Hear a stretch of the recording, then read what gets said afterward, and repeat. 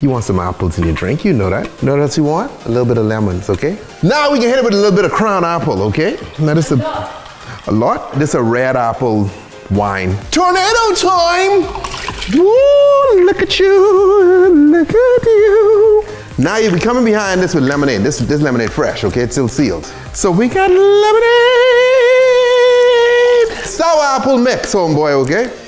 So we come in with a little bit of this, and we take out a little apple, and we come behind with a little bit of a lemon. We say, life short, go all in. And then we begin to pour.